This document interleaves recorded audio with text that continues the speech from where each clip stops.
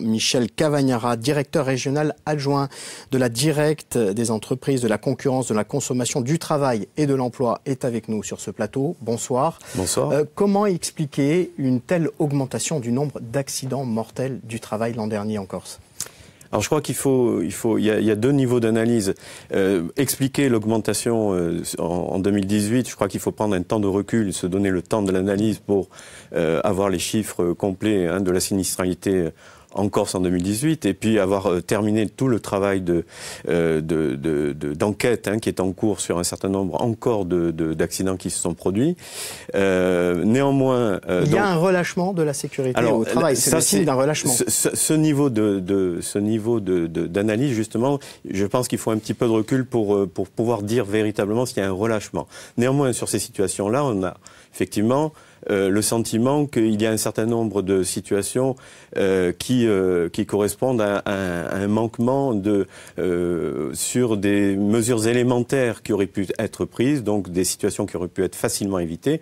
Donc de ce point de vue-là, au moins dans les situations qui ont conduit à ces accidents, on peut dire qu'il y a eu un relâchement donc de la vigilance en matière de prévention des risques. Quelles sont les entreprises concernées par, par ces accidents très très graves puisque puisqu'il y a eu mort? Alors, euh, c'est un peu une des caractéristiques de notre, de notre territoire. Hein. On a affaire plutôt à des petites entreprises et moins de 20 salariés. En général, ce sont de petites structures, euh, ce qui explique aussi en partie les difficultés de ces entreprises pour structurer une véritable politique de prévention. Elles n'ont pas forcément toujours tous les moyens, toutes les compétences.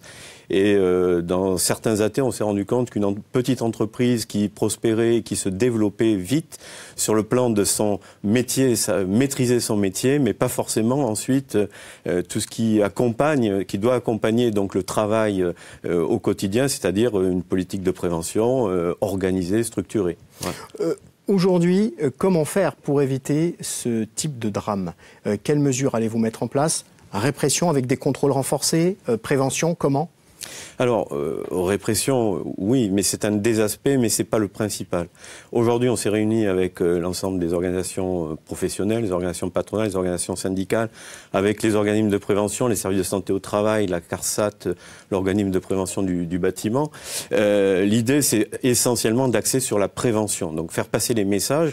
La prévention, c'est en fait une, une, chaîne. Tous les maillons sont essentiels. Euh, et parfois, il y a euh, un relâchement sur un maillon, il faut l'identifier. Mais c'est un travail vraiment d'ensemble de, de, qu'il faut conduire. Donc, il y a des aspects qui relèvent de la, de la formation. Un des aspects principaux qu'on retrouve euh, fréquemment dans ces accidents, c'est le, le, manque d'anticipation des risques.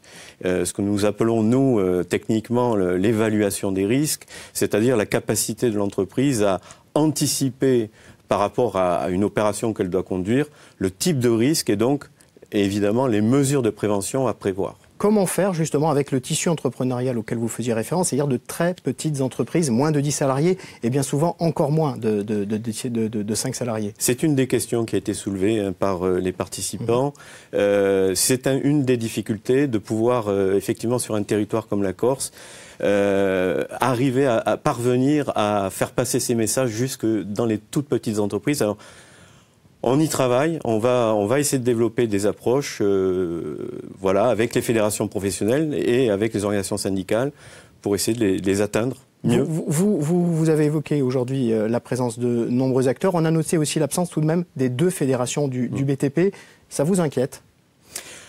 À ce jour, ça ne m'inquiète pas. Je sais que les, les fédérations du bâtiment euh, de Haute-Corse et de, de, Corse du Sud sont très impliquées hein, dans euh, l'action en matière de prévention. Non, là, je ne me permettrai pas d'interpréter ce soir cette absence. Euh, qui il s'est excusé, il pouvait pas, ils avaient des, des, des, événements importants aussi. Donc, mais ils seront, ils seront quand même auprès des autres, des autres partenaires. Michel Cavagnara, merci d'avoir été notre invité dans ce journal.